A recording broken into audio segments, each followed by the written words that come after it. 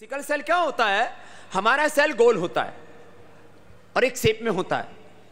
उनका सेल क्या होता है? टेढ़ा मेढ़ा हो जाता है, ऐसे खस्सी जैसा हो जाता है। फिर वो मोटा भी हो जाता है। ऑक्सीजन को एब्जॉर्ब करने का पावर उसका कम हो जाता है। और टेढ़ा मेढ़ा नुकीला होने से फिर वो हार्ट को किडनी को नर्वस सिस्टम को नुकसान पहुंचाता है। उनका आयुष्य भी कम हो जाता है। और हीमोग्लोबिन कम होने से एनर्जी का लेवल भी कम हो जाता है। एलोवेरा, वीटाग्रास और गिलोय का सेवन करो, कपाल भाती करो, इससे सिकल सेल का प्रॉब्लम भी ठीक हो जाता है। ये मेरा पंद्रह वर्षों का एक्सपीरियंस फिफ्टीन इयर्स का एक्सपीरियंस मैं आपको बता रहा हूँ। ये नहीं तो जेनेटिकली बड़ा परेशान करता है।